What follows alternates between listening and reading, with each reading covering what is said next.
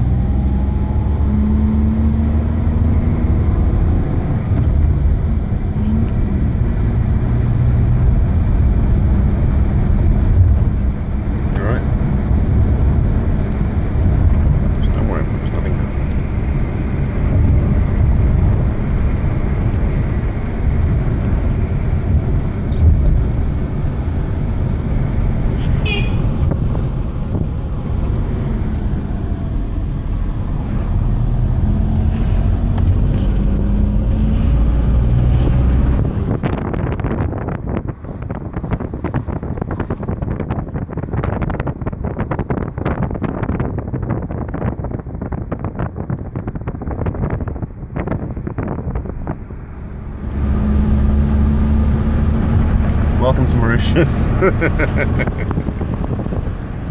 well, welcome to driving in Mauritius. What just happened there, sweetheart?